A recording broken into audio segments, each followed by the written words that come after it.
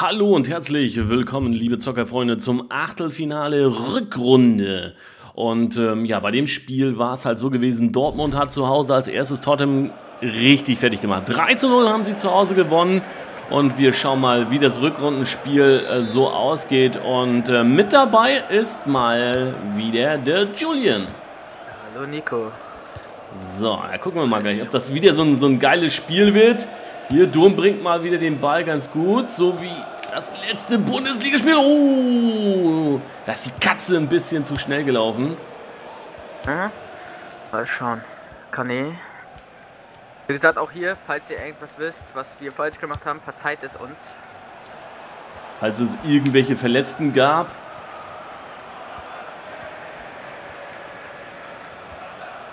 Ah. Schade.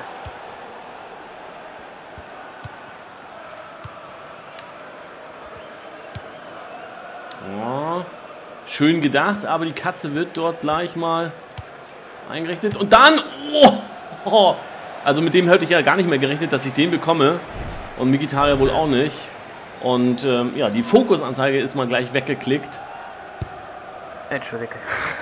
Das ist gar kein Problem. Meister Gündogan bringt ihn einfach mal hin. Sokrates. Und jetzt mit einem langen Ball jetzt auf, ja, eigentlich hier auf seinem Mittelfeldspieler. Aber der lässt sich da einfach mal fallen. Ah, da hat Ali das gewusst. Nennt man antizipieren. Genau.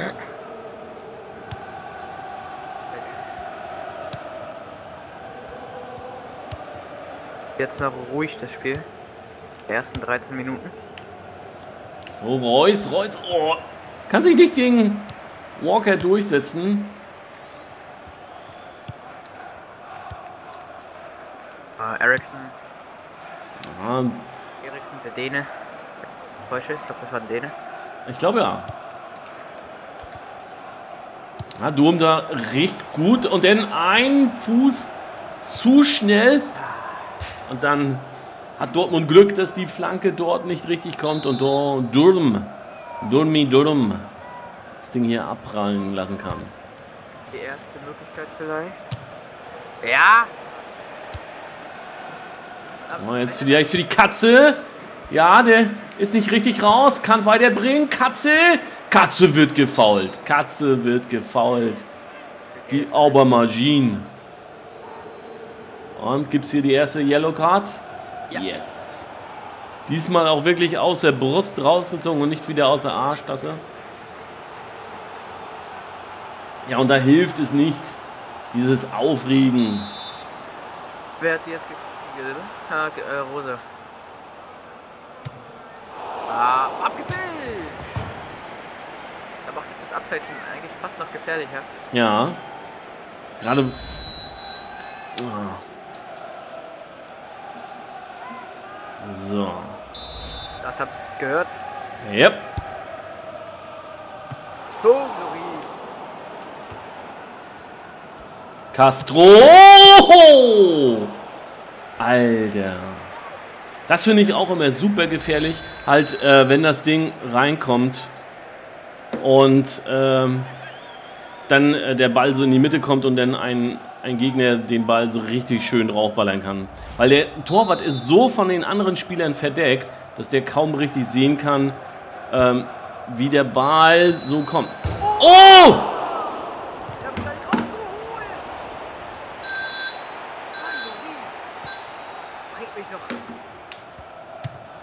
Und Reus. Schrecksekunde bei den Tottenhamern. Und, Tot und Tottenham muss aufholen. Aber wenn sie so weitermachen, dann wird's nix. Nee. Kommen hier nicht in die Partie. Viel Pass, aber er kann sich den Ball wiederholen. Ja, da wird ganz arg, ganz gefährlich. Oh, Sokrates. Ah, nochmal eine Ecke. Die Fans, die brüllen hier. Oh, da haben wir mich richtig abgepasst. Castro dann.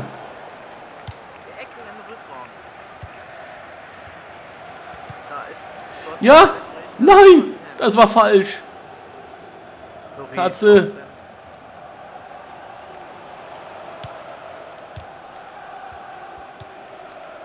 Jetzt kommt die Partie langsam in Fahrt, das merkt man.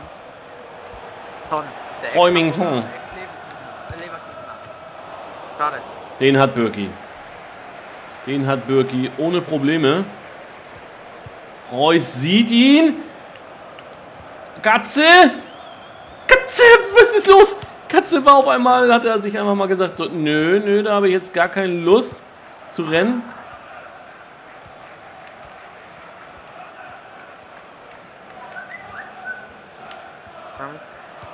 Ah! Und Eriksen gewinnt das Ding. Das kann jetzt gefährlich werden, wenn er es gut ausspielt. Schwacher Ball. Schwacher Pass. Ganz schwacher Pass. Aber auch Fehler von Birki, der ist gefährlich, der ist nicht im Tor. Eieieiei. Nochmal in der Wiederholung sehen.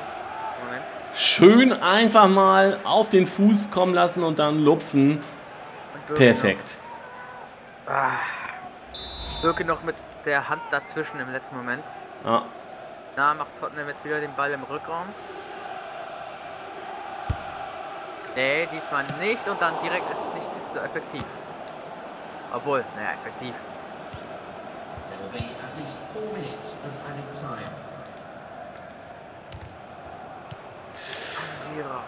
Aus Ali. Eriksen. Eriksen. Ah. Schade.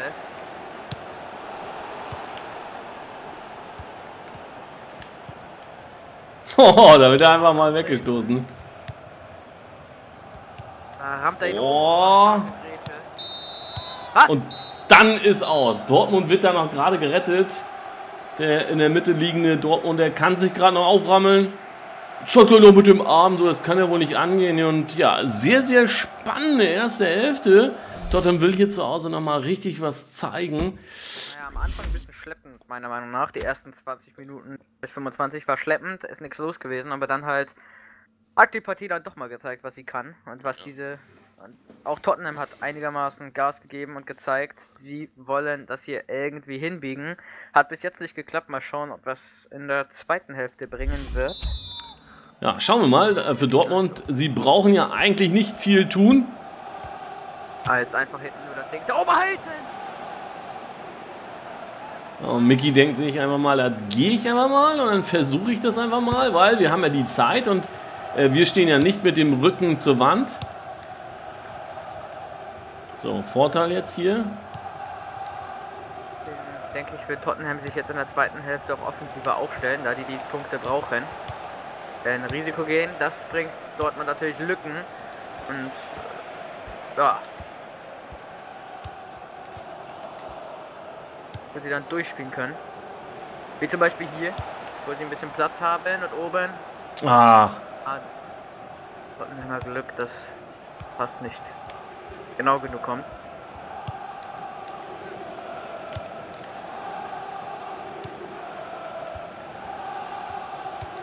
Ah, da sieht er den Platz. Ah, Quetschen vorbei.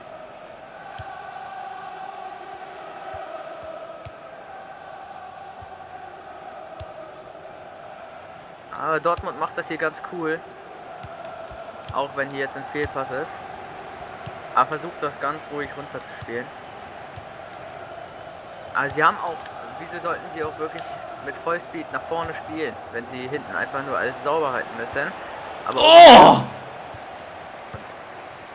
Ja, da hast du natürlich recht. Sie, sie können natürlich ganz gemütlich spielen, sich gar nicht so doll auspowern. Und äh, ja, dabei muss aber Tottenham, die müssen drei, mindestens drei Tore überhaupt kriegen, um überhaupt nochmal äh, die Möglichkeit zu haben. Aber das bringen sie halt auch nicht zustande. Und das ist halt auch nochmal ein Problem. Also man sieht halt, die Abwehr von Tottenham ist ziemlich weit vorn aufgerückt. Hinten jetzt auch nur noch zwei. Man sieht schon, Tottenham geht ein bisschen mehr nach vorne. Weil sie wollen natürlich drin bleiben, um alles. Aber es ist schon eine Stunde vergangen und es ist noch kein Tor gekommen. Ich sehe hier schwarz. Ich sehe hier schwarz für Tottenham. Aber äh, nicht, nur, nicht nur hier in unserem Spiel, ich sehe es auch derzeit ein bisschen schwarz Weil ähm, so eine 3 zu 0 äh, äh, Vorlage, die regst du nicht einfach mal so auf.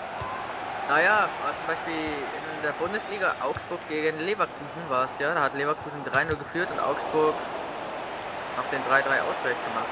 Ah, Okay. Aber ähm, man muss leider auch dazu sagen, Bundesliga ist immer noch ein bisschen was anderes wie äh, Europa League und so, ne? Das stimmt. Und halt, wie gesagt, da hatte Augsburg die gesamte, äh, noch Anfang der ersten Hälfte, äh, Ende der ersten Hälfte Zeit und die gesamte zweite, da hatten sie halt schon ein Tor. Oder zwei, glaube ich. Und jetzt, Tottenham hat jetzt nach 70 Minuten noch kein Tor. Das wird schwer. Und Dortmund spielt hier das richtig auf Zeit runter, versucht richtig lang den Ball zu halten, alles abzuwehren, nach vorne wegzuspielen. Dadurch spielt Tottenham halt auch aggressiver, da sie an den Ball kommen müssen. Jetzt vielleicht mal die Möglichkeit, das ist stark gespielt und wirklich was auf. Aber Abseits. Ja, und das nutzen wir dann auch gleich mal, um hier mal eine kleine Auswechslung zu machen.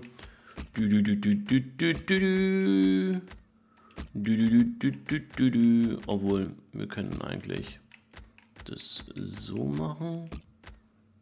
Und für ihn könnte er kommen. Ja, genau. Wir machen gleich mal drei auf einen Schritt. Tief.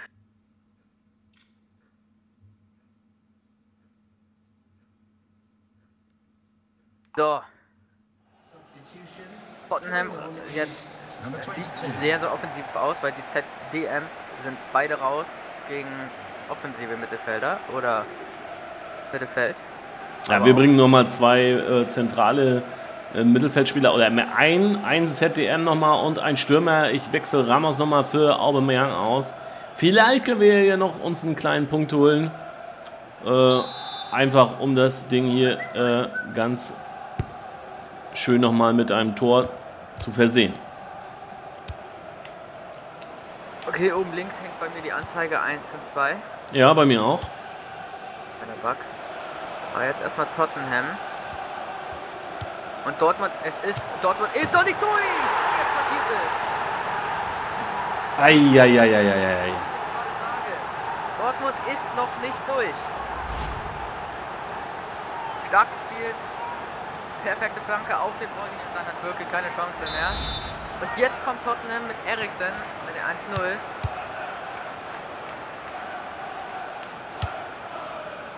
Wie gesagt, ich kann mich nur wiederholen. Das Spiel ist noch nicht vorbei. Kann noch vieles passieren. Wenn Dortmund weiterhin so blusig spielt, die müssen aufpassen. Denn sie sind wieder da. Tottenham, was ist da? Eieieiei.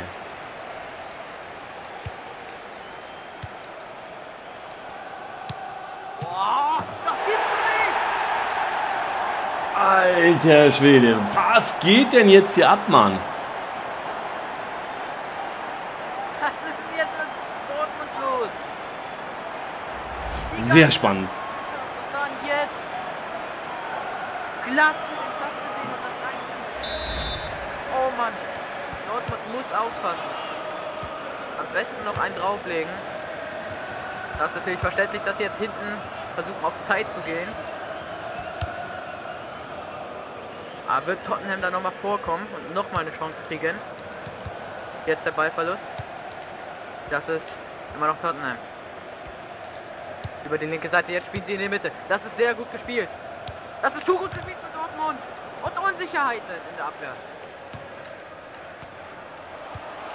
Was für eine Spannung in dieser Partie. Tottenham drückt und Dortmund ist hinten eingehängt und kann nichts mehr machen. Abseits. Zeit zum Durchschnaufen für die Dortmunder Abwehrkette. Birki sagte ich auch. Nur erstmal weg. Oh, aber der ist er durch. Aber Lori ist dazwischen. Zwei Minuten gibt's Nachspielzeit. Meine Güte, die haben's hier echt nochmal gedreht. Dortmund dachte hier, das wird nochmal ein leichtes Ding. Wow! Das ist nicht vorbei, aber Dortmund hat gerade Glück. dass Was? Tottenhamer, Tottenhamer werden natürlich unruhig, das merkt man. Also sie wollen dann nach vorne, aber schaffen es nicht durch. Und Dortmund haut das Ding einfach nur noch hinweg und die zwei Minuten, die dürften jetzt gleich um sein. Hat Dortmund es geschafft, durchzukommen? Ja. Was für ein geiles Spiel. Was für eine Dynamik. Man hat schon in der ersten Hälfte so gemerkt, man, hier ist richtig Feuer und der bloß Tottenham kam noch nicht und dann, ja, dann war es wie gesagt. Äh, in einer Minute war Dortmund nicht auf ganzer Höhe und schon hat Tottenham das Ding richtig gut ausgesetzt. Und hier feiern sie. ich finde das immer so geil, wenn das bei den Aufnahmen passiert. Ja, auf jeden Fall ist Dortmund trotzdem weiter, auch wenn es hier die Siegerhymne geht. Wir hoffen, euch hat diese Folge richtig gut passiert, äh, gefallen. Und jetzt gucken wir mal, was Leverkusen so macht gegen Villarreal. Die haben nämlich in der ersten Spiel 2 zu 0 verloren in Villarreal. Und äh, jetzt wollen sie zu Hause alles besser machen. Also bis gleich zur nächsten Folge.